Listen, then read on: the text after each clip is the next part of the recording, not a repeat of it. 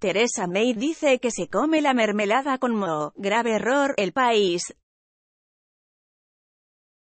durante una conversación sobre los alimentos que se desechan con los miembros de su gobierno, la primera ministra británica, Theresa May, aseguró que para no desperdiciar un delicioso tarro de mermelada al que le salía mo, simplemente retiraba esta sustancia grisácea y aterciopelada y se comía el resto.